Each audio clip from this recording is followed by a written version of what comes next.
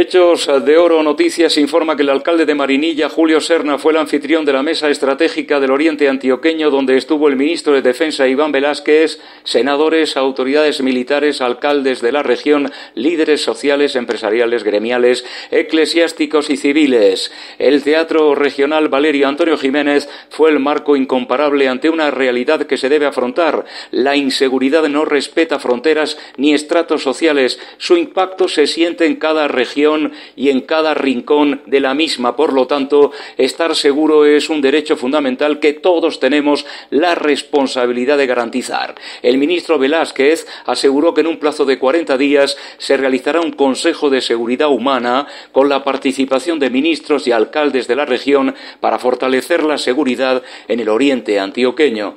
Aumento de la fuerza pública, despliegue de batallones clave con el grupo mecanizado Juan del Corral, el batallón energético y Vial 4, el Gaula Militar Oriente, fundamentales para la protección y estabilidad de la zona. Por su parte, el alcalde de Marinilla, Julio Serna, hizo un llamamiento a la unión y el trabajo conjunto. La articulación entre municipios, el gobierno departamental y el gobierno nacional es no solo necesaria, sino urgente, dijo Serna. La colaboración y el diálogo son nuestras mejores herramientas para construir, eh, sin duda, un entorno donde la convivencia pacífica y la confianza sean la norma.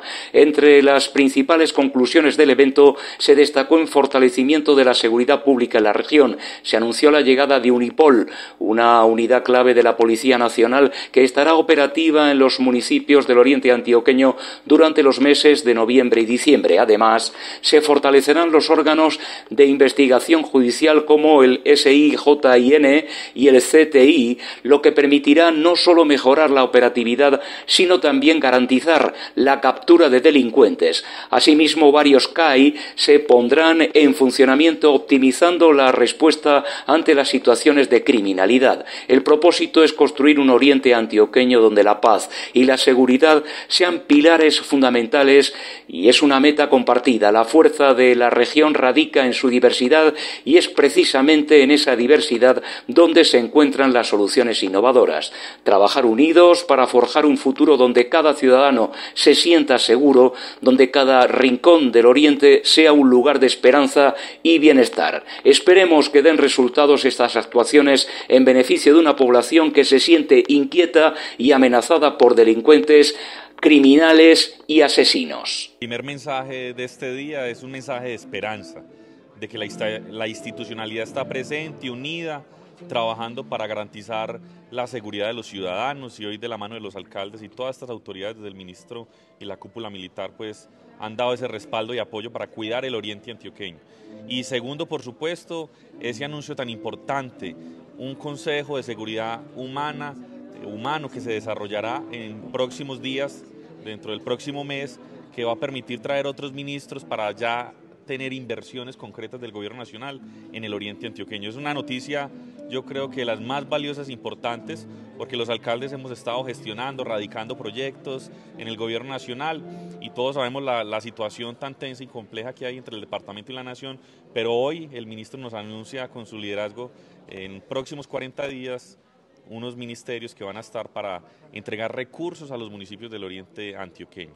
Segundo, el fortalecimiento de la fuerza pública, la llegada de Unipol, que es una unidad de la Policía Nacional en los meses de noviembre y diciembre que va a permitir reforzar la seguridad del oriente antioqueño de nuestros municipios y que va a estar dando eh, eh, la ronda en todos los municipios del oriente antioqueño. El fortalecimiento a los órganos de investigación judicial como la SIGIN, CTI y otros órganos que nos permitan, a la par de la operatividad que es importante en el oriente y en nuestros municipios, tener también golpes eh, y operaciones judiciales que, que permitan eh, la detención de todos estos delincuentes.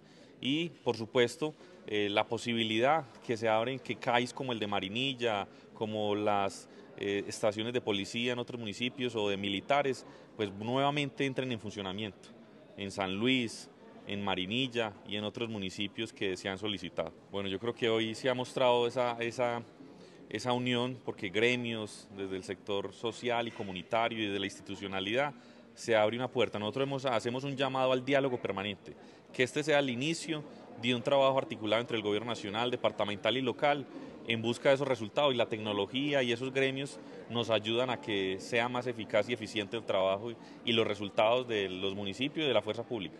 ¿Se colmaron las expectativas o quedaron puntos sueltos por ahí todavía? No, yo creo que se han superado con creces. Tener la presencia del ministro de Defensa, de toda la cúpula militar, ejército, policía, de Fuerza Aérea, de la Naval.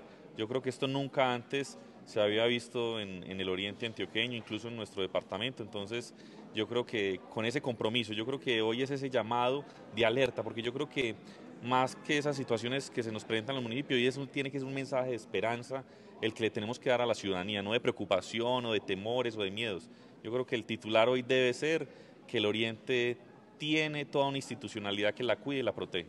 Bueno, la Comisión Segunda del Senado de la República constitucionalmente tiene como función hacerle control político, seguimiento al tema de seguridad, comercio internacional, eh, eh, políticas eh, de, exportación, extranjería, entre otras, pero la seguridad muy importante.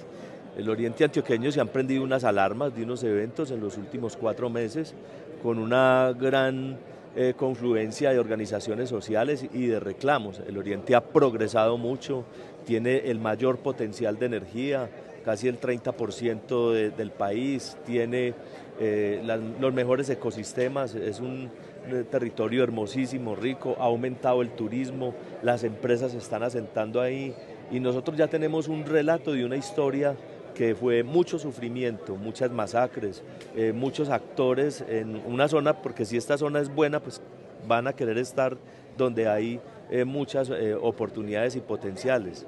Por eso el llamamiento es a que demos la cara, por eso no es una sesión privada, por eso no es una sesión cerrada, es una eh, sesión de cara a la ciudadanía que está convocando con todas las herramientas, donde tenemos que identificar la necesidad de articular acciones del gobierno nacional, departamental, municipal y de la sociedad, hablar de un Estado de Derecho. Inclusive hay herramientas como el llamamiento del presidente a un proceso de paz, decirle a esos actores eh, de organizaciones armadas, que aprovechen esa oportunidad. Ha sido una reunión realmente muy importante, una sesión de la Comisión Segunda del Senado, atendiendo la citación que fue presentada por el senador eh, Nicolás Albeiro Echeverry para revisar el tema de seguridad en el oriente antioqueño.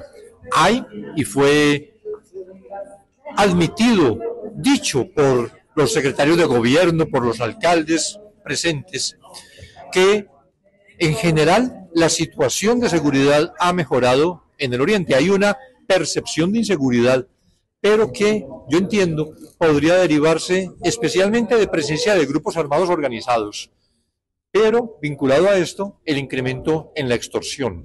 La extorsión de la manera como se ha venido eh, incrementando en el país ha tocado, ha afectado a todos los niveles de la población y eso hace que la, esa percepción de inseguridad sea más extendida.